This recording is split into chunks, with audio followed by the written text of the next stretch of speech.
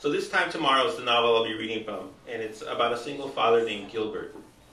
Uh, uh, Gilbert's the first character. The first third of the book is devoted to him. Uh, the second third of the book is devoted to his girlfriend Joyce, and then the third part of the book is devoted to his daughter Anna.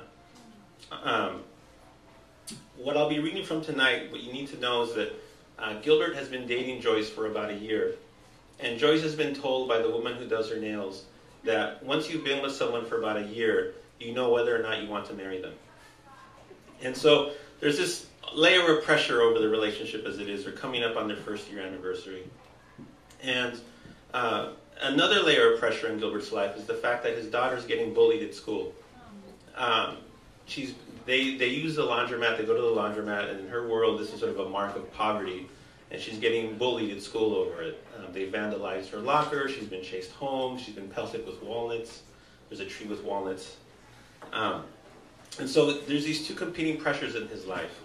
Um, but the scene that I'm about to read, uh, just before it, he's uh, they, were, they had a date on Saturday night that got canceled because she had to work. And so she said, "What are you doing tomorrow morning? Really early, about five in the morning, five thirty in the morning." Usually asleep at that hour. Um, and so they're agreed to meet up at about five thirty on a Sunday morning, and this is where the story will unfold.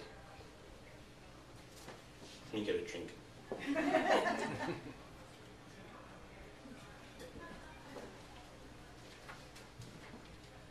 By 5.15 on Sunday morning, besides showering and shaving, Galeta had washed last, last night's dishes and mopped the kitchen floor. He'd thought about vacuuming, but because Anna was sleeping, he swept the carpet instead, brushing the dust and cobwebs from the corners of the living room into a dustpan. He left a note to Anna on the kitchen table and checked himself in the mirror before leaving. The morning outside looked like the night, the air brisk. Galeta got in his truck slipped the key in the ignition, and took the truck out of gear, letting it roll down the driveway before starting it in the street. At Joyce's, the porch light is on, or was on.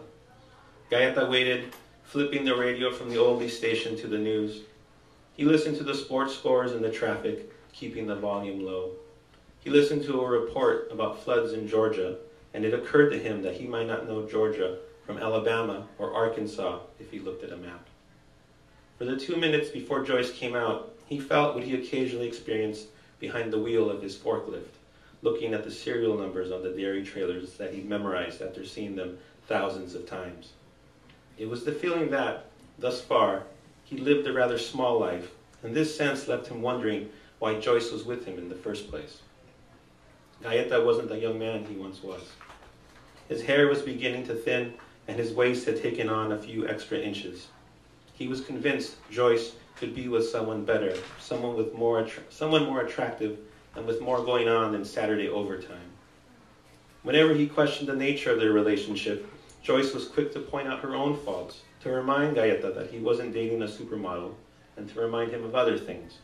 You're kind and you're honest. And you're a good guy. I could tell that when I met you. Why wouldn't I want you in my life? She emerged soon enough and they kissed hello as he opened her door, though the kiss was a quick and awkward peck. They pulled away from her house, and at the first stop sign, out of her father's sight, she leaned over and kissed Galeta hard on the mouth. He could taste that she'd had a cup of coffee. Hey there, early bird, she said.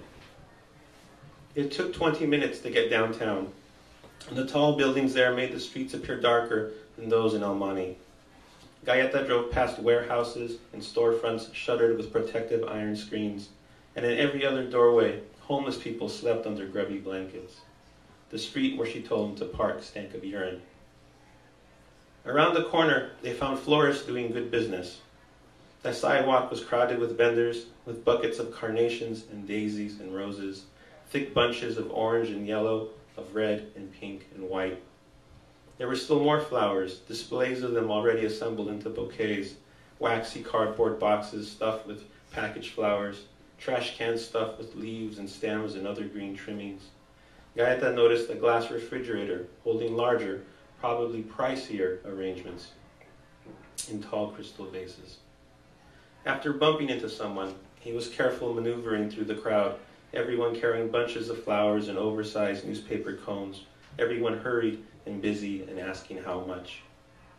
Besides a mandatory bouquet purchased for Valentine's Day from a sad eyed girl on a Peck Road traffic island, Galeta had yet to buy flowers for Joyce. She always hinted around when someone received them at work. Oh, you should have seen the roses Maria's boyfriend sent her for her birthday. But Candy's florist was pricey enough that Galeta had reserved flowers for a momentous occasion. Now, surrounded by all sorts of them, he knew that he'd been wrong. He started toward a row of bouquets with red roses and flowers shaped like big white stars, but Joyce pulled him away. No, she said, this isn't it. They crossed the street, and in the doorway to a warehouse, she paid two dollars for their entrance fees. She stuck a pink sticker to her collar, then another to his, and they walked inside. The place was packed, with more people than outside, was filled with stalls of flowers that stretched as far as Galeta could see. He was content following Joyce through the crowds at each stall.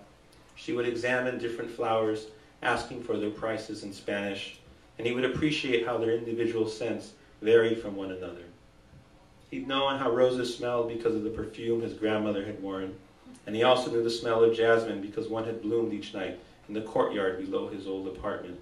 But beyond these two, he didn't know much. She showed him a bunch of sunny yellow flowers that smelled fruity and bright, another bunch with round bluish petals that reminded him of early morning light, this scent heavy with musk. They did a lap through the cold warehouse and then crossed the street to another one, the air warmer outside than inside. Things were greener in the second warehouse, the vendors selling potted plants and cacti and ferns. Galeta was taken by some stalks of red chili peppers, but the place as a whole seemed uninteresting to Joyce, and so they turned back in the direction they had come. What's Anna's favorite flower? she asked as they crossed the street. I don't think she has a favorite, he said. Maybe roses? Well then, what's her favorite color?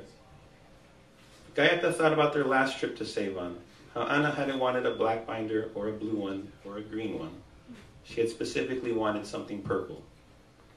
He mentioned this to Joyce, and once they re entered the first warehouse, she devoted her attention to the different purple flowers they came upon. Eventually, they stopped at a stall filled with roses with more shapes and sizes than he had ever imagined.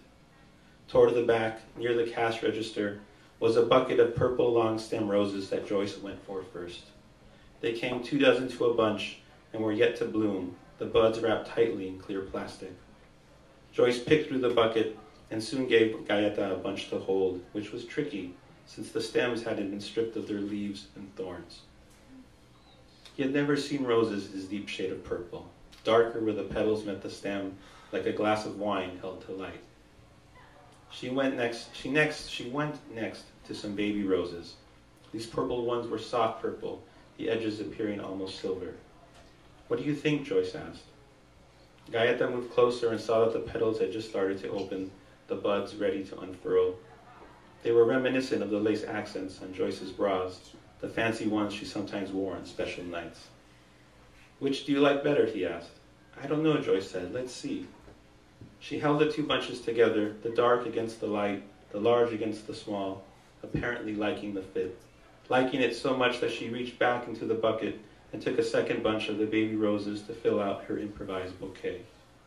She turned to the vendor a thin man wearing a puffy yellow vest, and asked him for a price. Twenty-five, he said. Fifteen for the long ones, ten for both the short ones. Galeta didn't know much about flowers, but he knew a good deal when it happened. He happened upon it. He reached for his wallet, but Joyce refused to let him pay. They were for Anna, she said, to cheer her up with everything that was going on. The seller took her money and rolled the flowers in oversized newspaper cones that he secured with lengths of twine. Joyce handed Galeta the long stem roses and folded her change into her pocketbook. Isn't this place amazing? she whispered. Galeta nodded. It was amazing. The activity in the cold reminded him of the dairy, though the flower mart seemed beautiful and imported in ways the dairy could never be. The flowers around him would soon be spread throughout the city. They would be at the center of someone's table or awarded with trophies or would accompany shining prizes honoring first place. He saw them pinned to collars or worn around wrists. He saw them tossed blindly over one's shoulder. We've only bought for Anna, he said. What about you? Don't worry, there'll be plenty for us both. They continued on until Joyce spotted some purple lilies, and it was here that Galeta found himself drawn to a nearby bunch of maroon flowers situated at the opposite end of the stall. Most of these bunches were wrapped individually with white gauze, but the ones on display were a bright, deep red. They had a charming fragrance, and their petals were broad and round and layered in a dense, protective manner. Their centers were clusters of thin shag. The rich color appeared to radiate from these cores, and the collective effect of the six or seven arranged before him was moving, for it seemed that his concern for Anna these past few weeks had collected in these stems and burst forth in bloom. The sign in the bucket read, Fire Bell Peony, and priced them at $20 a bunch. He was calculating the expense, reworking it into dairy hours, when Joyce gave him a peck on the cheek. Those are great, she said. We could definitely do something with them. They paid for their purchases, Galeta learning that his peonies were the first of the season, and their arms were full as they made their way toward the exit. The sun was out by this time, though it was too early to tell what kind of day it would be. They returned the Galetas, but they surprised Anna with armfuls of flowers. Joyce and Anna spent the morning making bouquets, snipping and peeling and stripping off thorns, filling the two glass vases in the house, along with three old Slurpee cups and a beer pitcher Anna had taken from a quinceañera at the VFW. The kitchen smelled sweet and bright with what they brought home, and in the middle of this, Galeta caught Joyce watching him. She cast him a flirty look. He could have driven past the flower mart a hundred times without ever having seen the inside. And if he'd found the place, he wouldn't have thought to buy his daughter flowers. There would always be things like this with Joyce, new and wondrous things.